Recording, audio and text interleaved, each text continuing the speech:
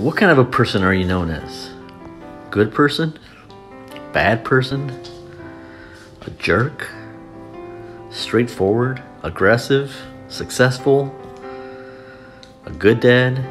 A bad dad? Good husband? Bad husband? You see, the Bible says it was by faith that Enoch was taken to heaven without dying. He disappeared because God took him. For before he was taken up, he was known as a person who pleased God. Are you known as a person who pleases God? Am I known as a person who pleases God? Let's be like Enoch and have faith.